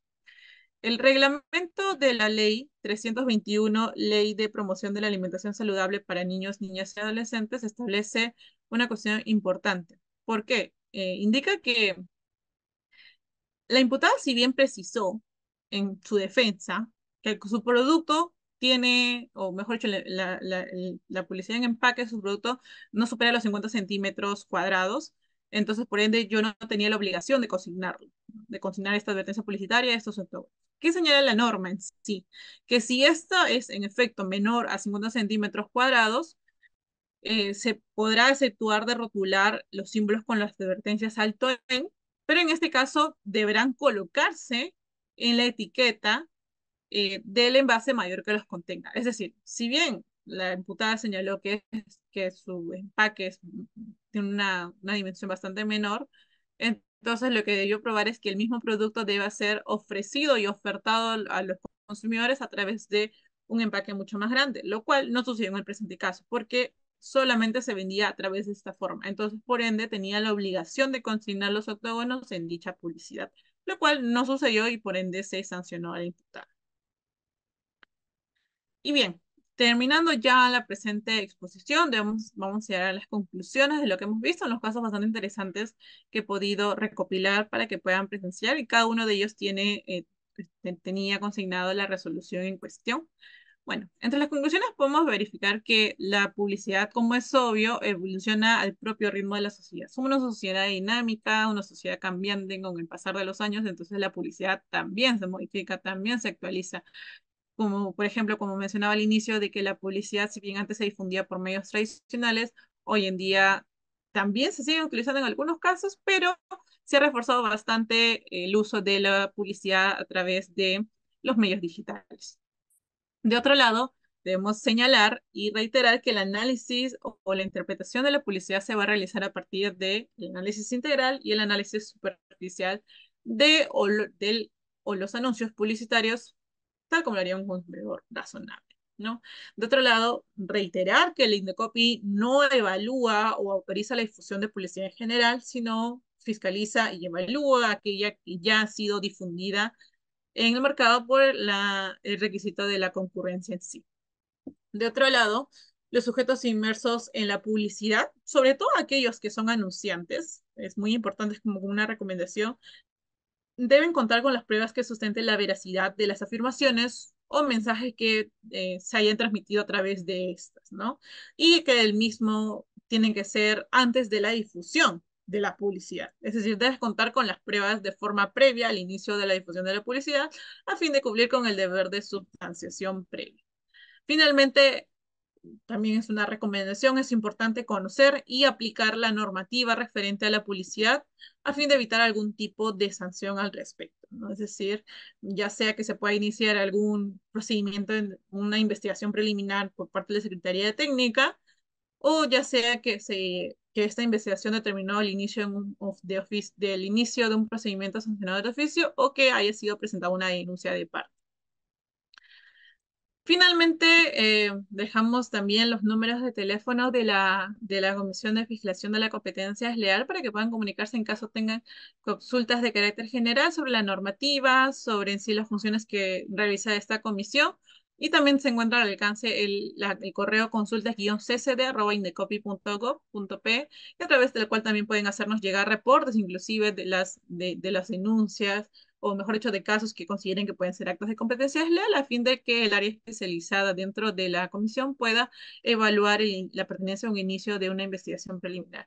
Quiero recalcar en este punto de forma rápida que eh, la comisión puede brindar eh, información y orientación de carácter general sobre la normativa, sobre nuestra normativa, la ley de represión de la competencia desleal, sobre en sí eh, cuáles son las funciones de esta comisión, pero lo que no puede hacer la comisión y no se encuentra facultada por ley es ah, brindar información sobre casos particulares, ya sean de trámite, procedimientos de trámite o de casos supuestos. ¿Por qué? Porque ello podría considerarse un adelanto de opinión y no, no, no estamos facultados a brindar ese tipo de información. Nosotros solamente orientamos de carácter general eh, a, la, a, la, población en sí sobre la, la, norma, en caso tengan alguna duda sobre la ley de represión de la competencia desleal y sobre las actividades que nosotros realizamos. Asimismo, tampoco podemos brindar información a personas que no se encuentren apersonadas a los procedimientos que, que están en trámite. Solamente se brinda información a las personas que estén debidamente autorizadas. ¿Por qué? Porque los procedimientos son de carácter reservado. Y finalmente, para que puedan, eh, puedan verificar esta información, estoy dejando los QR de los lineamientos emitidos por la Comisión eh, de Fiscalización de la Competencia Desleal el año pasado, el decreto legislativo 1044 que está consignado en la plataforma SPIG, también tenemos la guía de publicidad para influencers, como hemos tocado un, tema bastante importante, la publicidad y hoy en día el uso de la publicidad en influencers también ha sido, ha ganado fuerza en los últimos años, entonces también se ha emitido una guía en el año 2019 la plataforma buscador de resoluciones, porque he consignado el número de resoluciones de cada uno de los casos que he tocado, que lo van a poder verificar también en la plataforma por si quieren revisarlo.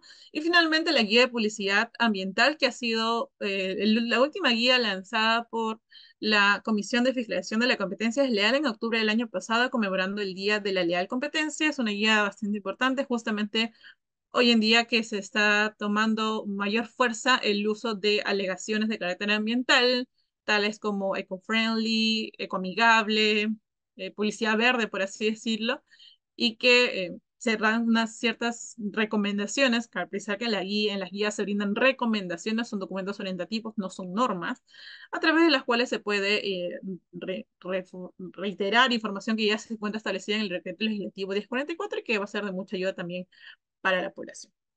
Bien, finalmente dicho esto, agradezco mucho la atención de los presentes hoy en día. Espero que haya sido de la información que haya contado y vamos a pasar algunas preguntas que ya me está compartiendo Flore por, el, por interno a fin de poder responder algunas de ellas.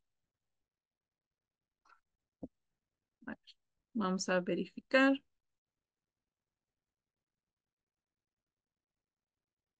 Dice, el análisis integral significa que como consumidor debo buscar toda la publicidad relacionada a una pieza publicitaria. Si no lo hago, esa sola pieza a la que tuvo acceso es por sí misma y que es publicidad engañosa es suficiente para que se, funde. Entiendo que quiso decir, se declare fundada mi denuncia.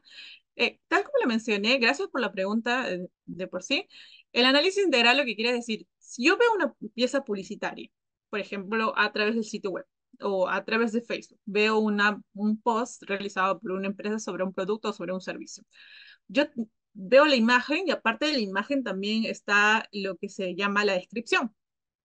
Entonces, yo al analizar esta información o esta publicidad, yo tengo que revisar toda la información que se encuentre en ese enlace.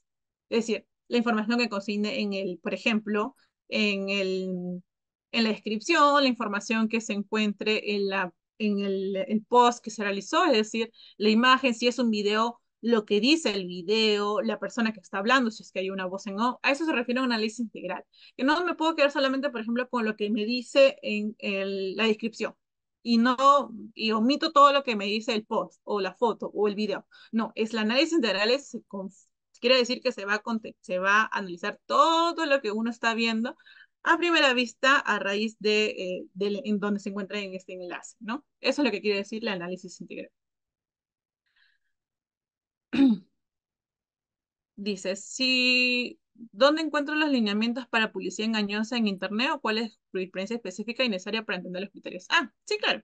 Eh, respecto a los lineamientos para publicidad engañosa, en sí los lineamientos no solamente están por publicidad engañosa, en los lineamientos se se brinda información sobre los actos de, competencia desleal, sobre la definición de cada uno de ellos, sobre los criterios optados por tanto por la comisión como por la sala y también se consignan de forma resumida los casos más importantes sobre cada uno de estos actos, ¿no? En el acápite de actos de engaño van a poder encontrar información sobre los casos por publicidad engañosa, eh, y este, los casos más resaltantes también van a estar en, en las propias resoluciones, también se citan otros casos mucho más antiguos, entonces es información que en sí está al alcance de, las de, de cada uno de los presentes, de la población en sí, y también lo pueden verificar a través de, el, si escanean el QR, también van a poder verificarlo. En caso no puedan escanear el QR, debo informar que también haciendo una búsqueda bastante sencilla en Google, eh, colocan lineamientos CCD 2023 y van a poder encontrar eh, los lineamientos del año pasado. Mm, a ver.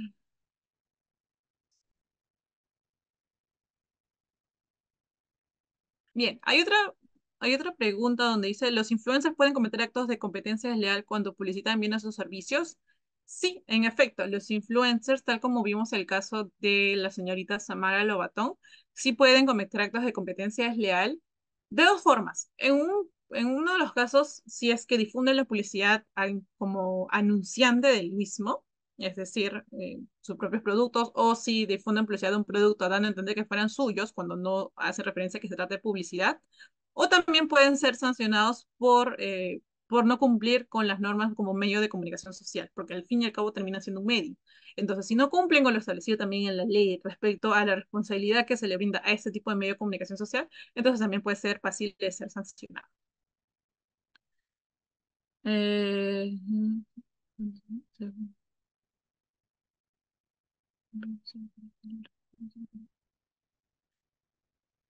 Dice, es competencia desleal cuando se presenta un error en el precio anunciado por el proveedor, por el proveedor indicándose un ejemplo irrisorio, pero que conlleva que los consumidores quisieran, quieran comprar ese producto. Bueno, no puedo decir sí o no tal como lo había precisado, porque eh, se estaría realizando un adelanto de opinión a lo que no me encuentro actualizada. Pero lo que sí puedo mencionar es que eh, cada caso es analizable de forma particular. Es decir, cada caso es diferente, cada caso eh, tiene sus propias particularidades, entonces se realiza un análisis bastante exhaustivo de cada anuncio publicitario, por lo cual en algunos casos podrías decir que sí, en otros casos podría decir que no, entonces no puedo brindar un adelanto opinión respecto a ello, pero como digo, eh, si la información que uno difunde a través de la, a través de diferentes medios no se condice con la realidad o ¿Por qué? Porque no es cierto o porque no, es, o porque no tiene las pruebas que puedan sustentar lo anunciado, entonces se estaría cometiendo un acto de engaño, claro está, según la propia definición establecida en la ley. De otro lado dice, eh, los actos de competencia desleal son lo mismo que las prácticas antitrust. Eh, no, no, somos dos comisiones diferentes. Por un lado está la Comisión de Fiscalización de la Competencia Desleal, que es eh, la comisión a la que yo pertenezco, y sobre que toca, que es el, el, órgano que está encargado de velar por el cumplimiento de la ley del decreto legislativo 1044, Ley de Represión de la Competencia Desleal. Y por otro lado está la Comisión de Libre Competencia, que es otro órgano que ve el tema de las prácticas antitrust, que ve este, lo relacionado en sí a libre competencia. ¿no? Entonces, son diferentes temas que pueden tener una cierta vinculación, pero sí lo que, no, lo que la facultad que tiene la Comisión sobre los actos de competencia desleal. Eh, otra pregunta dice, ¿existe regulación de publicidad particular en una fanpage de Facebook que sea muy conocida? Mm, no entiendo muy bien a qué se refiere la pregunta, pero si está referida a que si existe regulación de publicidad en efecto, sí existe regulación de publicidad en nuestra ley y es analizable respecto de publicidad que puede ser difundida a cualquier medio que esté al alcance de los consumidores. Como dije, puede ser sitios web, redes sociales, puede ser eh, radio, puede ser televisión, cualquier volantes inclusive. Hoy en día no se usa mucho, pero también puede difundirse a través de volantes. Eh, dice, en redes sociales, especialmente en Facebook, hay muchos anuncios fraudulentos de trabajo remoto, hasta, hasta del Ministerio de Trabajo que le dirige a los que, a los que hacen clic a números del extranjero que piden nuestra información personal y hasta dinero para postular esas supuestas vacantes. ¿Han pensado en alguna manera de contrarrestar estos anuncios engañosos fraudulentos de redes sociales? Bien, en realidad, este, este tema, lo que usted me está mencionando, la persona que ha realizado esta pregunta, puede incluso denunciarlo de repente a través de los correos de copy, pero señalar que, tal como lo he precisado, los anuncios que nosotros realizamos, o mejor dicho, la publicidad que nosotros evaluamos son sobre productos o servicios que se venden en el mercado en el marco de una actividad concurrencial. Es decir, si yo difundo publicidad sobre un servicio que yo ofrezco, o un producto que yo estoy vendiendo, con el fin de que las personas, la población me compre o adquiera mi servicio, yo pueda generar un interés, un, satisfacer mis intereses porque obtengo transacciones económicas a mi favor, eso es publicidad. Entonces, eso sí es analizable por la comisión. Lo que usted me está mencionando me parece que es algo, un tema bastante distinto, que puede tratarse de fraude, eh, pero no necesariamente sobre la venta de un producto o un servicio, pero sí puede ser reportado a las instancias correspondientes. Dice, buenas tardes, ¿cuál es el trámite correspondiente para poder efectuar denuncias sobre actos de competencia desleal? Bien, esto me parece que no lo he mencionado, pero sería bueno precisarlo. Nosotros tenemos eh, dos formas de poder iniciar un procedimiento. Uno de ellos es cuando nos llegan denuncias de parte, es decir, una persona natural, una persona jurídica, puede presentar una denuncia cumpliendo determinados requisitos establecidos en el texto único de procedimientos administrativos del INDECOPI, el TUPA, eh, cumpliendo con esos requisitos y, bueno, establece, eh, señalando a quién está denunciando, eh, qué está denunciando, las pruebas correspondientes, cuál es el acto infractor, la tasa correspondiente, etc. Eso es en el caso de denuncias de parte, se puede admitir a trámite en caso cumpla requisitos y a su vez este, se incluye a esta persona denunciante como parte del proceso. Pero también hay otra forma, en caso de algunos eh, personas naturales, jurídicas, cualquier agente económico en el mercado, inclusive cualquier consumidor quisiera denunciar o reportar un acto de competencia leal que pueda considerar que se esté realizando en el mercado, puede realizar una denuncia informativa en caso no desee formar parte del procedimiento y no desee eh, pagar, por ejemplo, la tasa. En muchos casos porque no desea pagar la tasa. Entonces, puede presentar una denuncia informativa al correo consultas-ccd.indecopy.gov.p y es la Secretaría Técnica quien va a evaluar la pertinencia del inicio de un procedimiento administrador, administrativo sancionador de oficio por los actos denunciados. ¿Cuál es la diferencia entre estos dos?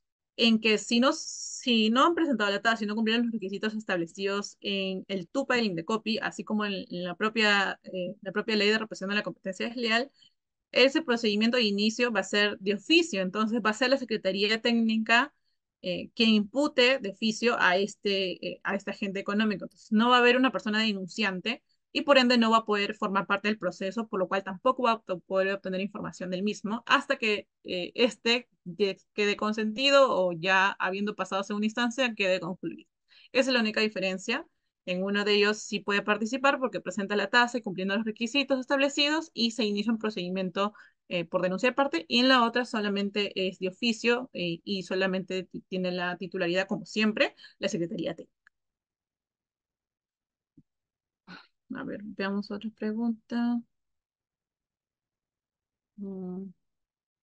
Sobre el caso Honey Mustard, ¿se debe aplicar sí o sí la advertencia publicitaria a pesar de que en la matriz de consultas de Digesta ellos mencionan que en caso de este se utilice únicamente para transporte, no corresponde el uso de advertencias publicitarias?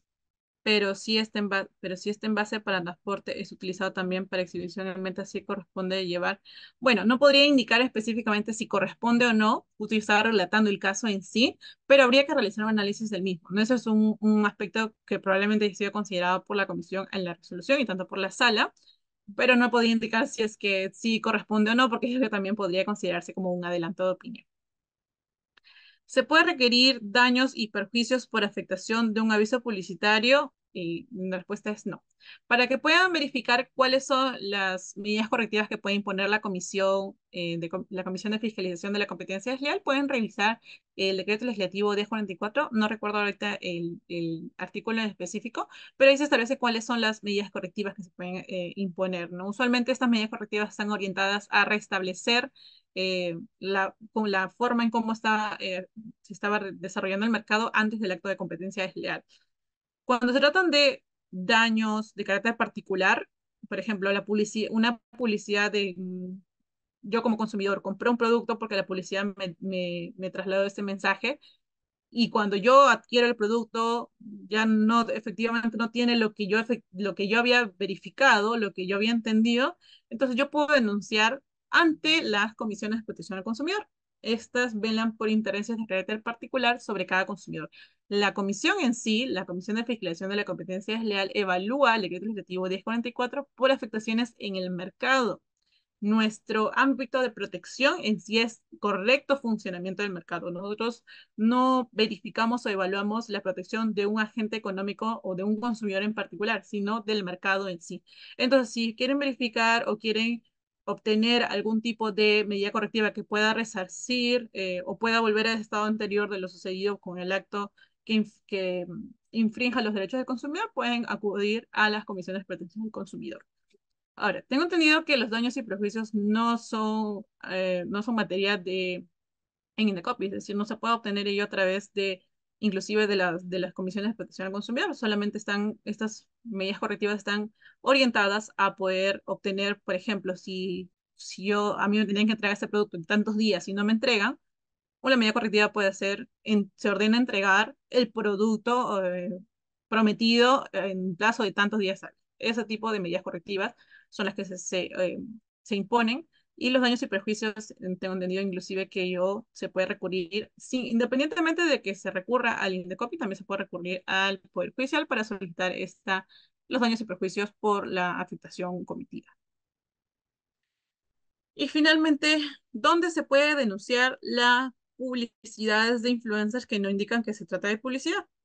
Bien, tal como le mencioné, ello puede ser, de, puede ser reportado eh, incluso si, desean, si no desean formar parte del procedimiento y quieren que sea una denuncia de carácter anónimo, incluso lo pueden señalar. No es necesario que coloquen todos sus datos, eh, basta con que lo reporten a la comisión ante, eh, a través del correo consultas-ccd.indecopy.gov.p. Esa es la forma, el medio a través del cual pueden presentar esta denuncia. Son denuncias informativas. Se, se requiere o puede ser viable que lo coloquen como asunto de denuncia informativa a fin de verificar que en efecto solamente desean reportar el caso, ¿no? Si obtienen información sobre alguna de estas personas que esté difundiendo publicidad en el mercado sin advertir de que se trata en efecto de publicidad, pueden, eh, pueden reportarlo a través de nuestro correo electrónico. Cabe precisar que nosotros, a raíz de que hemos lanzado la guía de publicidad de influencers, muchas de estas personas de que son creadores de contenido, que son influencers, han podido eh, corregir sus acciones y han podido informarse sobre cuáles cuál es la norma que deben seguir para evitar que se pueda cometer un acto de competencia desleal y con ello se puede determinar su responsabilidad que derive en, eh, una sanción, ya sea una amonestación o una sanción pecuniaria.